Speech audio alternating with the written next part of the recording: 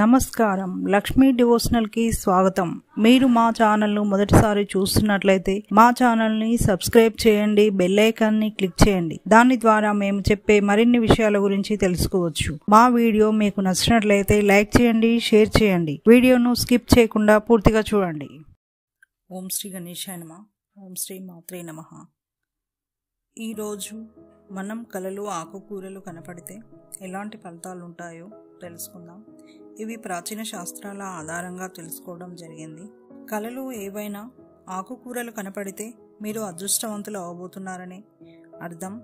మీకు అన్ని విధాలుగా మంచి ఫలితాలు ఉంటాయి ఆకుకూరలు తిన్నట్లు కనపడితే మీరు ఇతరులకు ఆదర్శప్రాయులవుతారు. అందరూ మిమ్మల్ని గౌరవిస్తారు. మంచి పేరు ప్రతిష్టలు గౌరవ మర్యాదలు పొందగలుగుతారు. కళలో కొత్తిమీర చూసినా తిన్నా మీకు మంచి వ్యక్తులతో పరిచయాలు కలిగి స్నేహం ఏర్పడుతుంది. దీన్ని మీరు కొన్నట్లు కనపడితే మీకు తీరనటువంటి కోరికలు తీరగలవు.